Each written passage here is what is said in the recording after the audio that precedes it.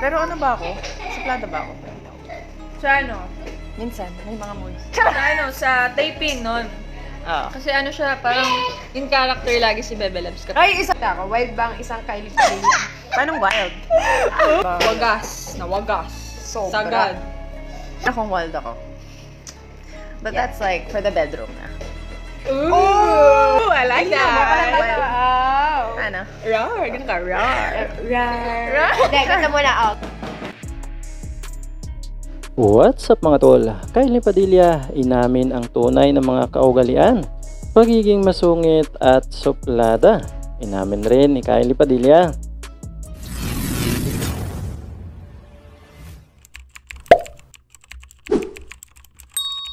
Sa isang bidyong ibinahagi nga ni Kylie Padilla, ay inamin niya nga rito ang kanyang tunay na ugali sa totoong buhay na kung saan naman ay binabase nga ito sa mga kaibigan ni Kylie Padilla na kanyang katabi na sila mismo ang nakasaksi at nakakaalam kung ano ba talaga ang kaugalian ni Kylie Padilla sa totoong buhay. Kasama nga rito sa mga katanungan kung totoong masungit o suplada nga ba si Kylie Padilla. Pero base naman sa naging sagot ni Kylie, Pero ano ba ako? Suplada ba ako? Sa ano? Minsan, may mga moods. Sa ano, sa taping nun. Oo. Kasi ano siya, parang in character lagi si Bebe Labs. Kapag Ay, isa pa yon. Pag nasa set Taping. ako talaga, ayoko na. nakasama ko siya sa taping nun eh. Hindi ako, in character ako palagi. Hindi siya ako mamamansin talaga. Kahit na magkakalala kayo. nag- Oo. Hindi mo siya makakausap. Hindi siya si Kylie. Pag nasa set. Hindi, pero totoo yun. Kasi naiiba yung mindset eh. And, masyado akong siniseryoso. I'm a serious actor, you know. I'm so serious. Like, oh my I'm God. Oh serious my. God. Char, so yan. Next. Okay, stateswomen. Huh? Stateswomen. Like, you know, baka siguro laking... Skip na natin yan, bebe. Oo. Okay, malalim na tao, introvert. Yeah, I'm so deep. I'm so Gano'n deep. ka- Like, Gano'n ka deep? bird. Katingin yan. Gano'n ka deep? Ganon. Ay, Ma, ilan feet? mga six feet. Six feet. Like, oh my Yeah, ano, ano lang, gusto ko lang talaga yung mga conversations about life, ganyan. Conversations about anong mga pinagdaanan mo, ganon, anong mga natutunan mo, how do you feel, ganon. Tama yan. Yes. Strict ma'am. Strict. Strict. Baka bang mama? Mama! Straight ka ba? Strict ako. Hindi. Laid back akong mommy, pero when it's time to... Ayoko yung word na discipline eh.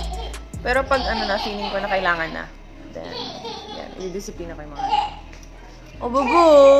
Inanap na ako ni Axel. Pag-aamin naman ni Kylie Padilla kung ano ang feeling na magiging anak ng isang sikat na action star at kung paano nga niya nagagampanan at na-adjust ang kanyang sarili sa ganitong klaseng pamumuhay. Lalong-lalo na nga isang ganap na rin siyang sikat na actress ngayon. Ako, secretive. Ah, lumakas, lumaki kasi ako na, you know, artista yung tatay ko. Marami akong nakasama. Maraming mga, you know, gusto lang nila alam. Mamalaman yung mga nangyayari. So, siguro kasama na rin yun na gusto ko lang i-keep yung ibang mga bagay. And, marami ka nang sinishare pag artista ka. You really do share a lot of your life. In-expose mo yung sarili mo. Pag sinishare mo lahat ng bagay, you're giving people the right to judge you. And yun, yung, yun, lang yung medyo iniiwasan, di ba? Kasi it takes a lot talaga. Eh, kahit normal na tao na bully online, di ba? Mahirap yun. Nahihirapan kang, paano ba ipaprocess yun? Ganon din pag, ano, pag artista. And then, mamamagnify ka palalo. So, yun lang. Nag-iingat lang. Sa pagpapatuloy pa nga ng mga katanungan at kung ano ang mga klaseng ugali nga meron si Kylie Padilla base naman sa kanyang mga kaibigan katabi nito nasaksi at mga nakaobserba sa mga ipinapakita nga nitong ugali at kung paano nga sila pinakikisamahan ni Kylie Padilla sa totoong buhay. Panoorin natin ang clip na ito. Approachable. I think so. I think, am I approachable? Yeah. I think I'm approachable. Yeah. Approach, approachable? Approachable naman ako. Depende sa mood. Depende sa Ano mataray po dati. dati. Mataray ako. Um, marami nang nagsasabi sa akin yan na mataray ako, pero swear guys, hindi naman. Hindi naman. May naman, hindi naman. Hindi naman. Gano'n kakalog ang isang Kylie Padilla? Gano ka? Kalog. Oo. Kano ba? Wagas. Na wagas. Sobra. Sagad. Kalog na kalog. Ako, wild ba ang isang Padilla? Paano wild? Ooh, I like Wow. Ano? Rar, ganun ka, rar. Rar. Hindi, ganda mo na. Oh, gano'n no. Tapos, Dito. rar. Video phone. Video phone. Oh my God. Makulit at malambing? Oo, ayaw pa lang, oh. Sobrang lambing yan. Sobrang lalambingin. Ah, yung wild, may face din akong wild ako. But that's like for the bedroom na. Ooh. Para, para sa asawa. Ooh. Yun. Charismatic ka daw. Ay. Charismatic. Kayo po makakapagsabi nun. Pero may nakapagsabi na sa akin, hindi daw ako. Kulang daw ako sa charisma. Secret. Pero meron na. Grabe, nung unang kita ko nga sa'yo, nanginginig pa ako. Nakaka-starstruck Nasa tao yun, Bebe Loves. Sa bagay. Pero, Hi, thank you! dito ka, dito ikaw. Ako pero tayo ba naman dito sa masuno? Hindi ko alam. Hindi ko alam. Maldita? Sino, ikaw? May moods po ako na maldita ako. Tayo ba naman dito sa masuno? Hindi ko alam. Hindi, kasi ang tao naman may moods talaga eh. Oo. Ba? May mga pinagdadaanan, Yes. ganyan. Minsan wala kang tulog. Mhm. Iniisip mo ang mga bayarin. Oo. Di ba? Adulting na tayo. Minsan hindi talaga may iwasan. Maldita ko yung araw. Mhm. Babae pa tayo, di ba? May mga pagdating ng, yes, Yes. time of the month. Yan! Ayun, tanong-tanong na lang ako. Sa Sige. Ano yung isa sa pinaka, parang kunyari, isang bagay na may inis ka kagad? Like, kunyari ginawa ng kaibigan mo sa'yo. Oh, I like that. Ni, Mhm. Wala silang kasalanan dito. Okay, yung mga friends ko, ayan. Mga friends ko. Medyo hindi ako sanay ng tinatanong ako kung okay lang ako. Hindi ako sanay. Oo. Hindi ko alam kung napansin nyo pag tinatanong nyo kung okay lang ako. Ang paulit-ulit. Oo. Kasi, makikita agad kung ano talaga na.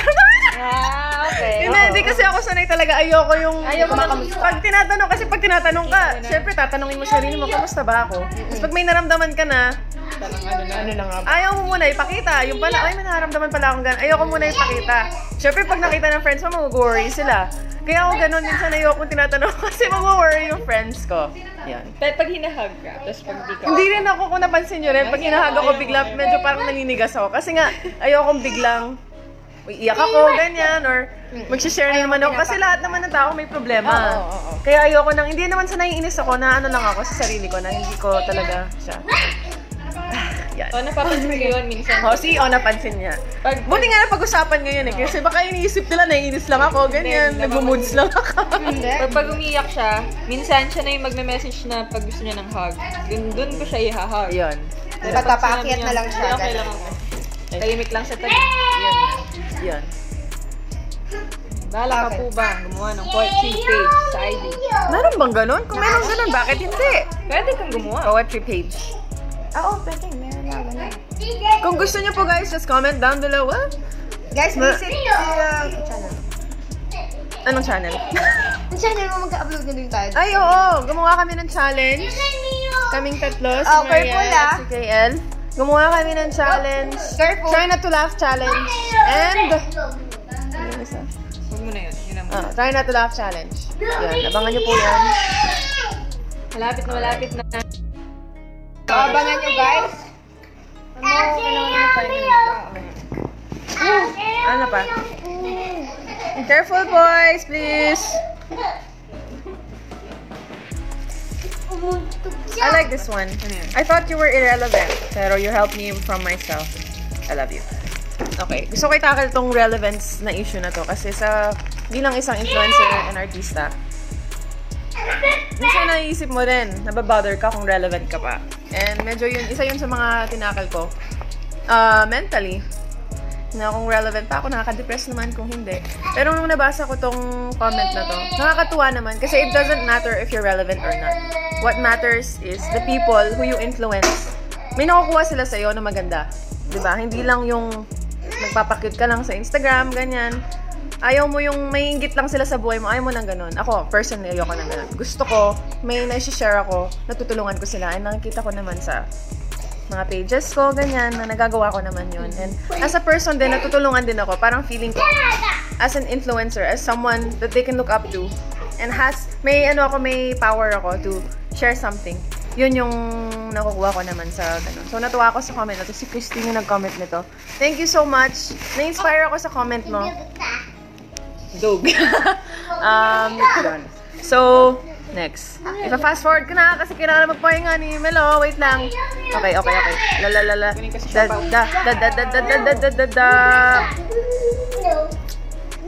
Okay. Approachable. Okay.